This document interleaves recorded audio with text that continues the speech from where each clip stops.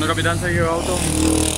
Aparatoso accidente acá sobre Ruta Secta, varios heridos que tuvieron la asistencia de su compañía. Sí, eh, estuvimos trabajando con eh, seis personales y dos ambulancias aquí en este accidente de tránsito de cinco heridos. Dos estaban, ¿verdad? Eh, salieron ya del vehículo, estaban bien, ¿verdad? No se le trasladó a ellos, pero sí tres le trasladamos. Una señorita con herida de con- considerable en la cabeza.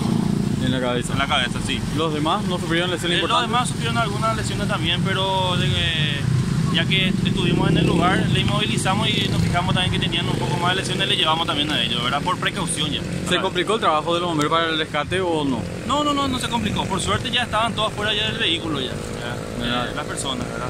Sí que fue uno acá, otro allá y así estuvimos nosotros enviando personal del otro lado porque ustedes como pueden observar de este lado se sacó un vehículo, del otro lado estuvo y pasando también del otro lado está otro vehículo. Entonces tuvimos que dividirnos para tratar de rescatarle a todas las personas ahí. Pero ra- la rapidez también... eh, Claro, es importante llamar al número de emergencia apenas uno ve el accidente y llamar al número de emergencia. Gracias a eso tardamos un cuatro minutos en llegar al, al lugar.